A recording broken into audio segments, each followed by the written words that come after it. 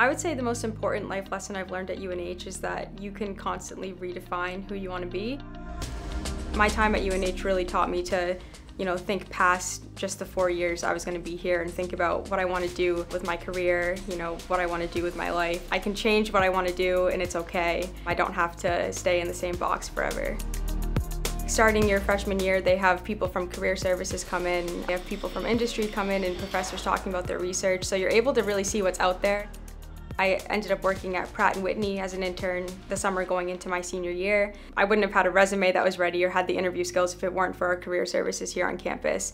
Um, so that made that process of finding an internship a lot less scary.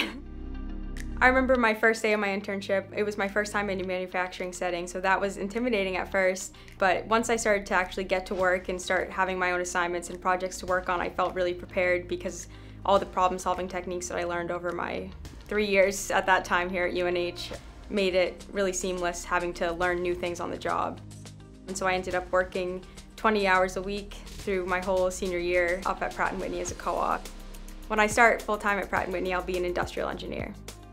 When I came to UNH, I definitely stayed inside my comfort zone a little bit. Um, I kind of stuck to a routine that I've had my whole life, and through my time at UNH, I've learned to accept challenges and not be not be afraid of a challenge, not be afraid to try new things or to take on leadership roles. Now I feel like I embrace all of those things. I think I'm ready to take on those challenges that come in the next steps after I graduate.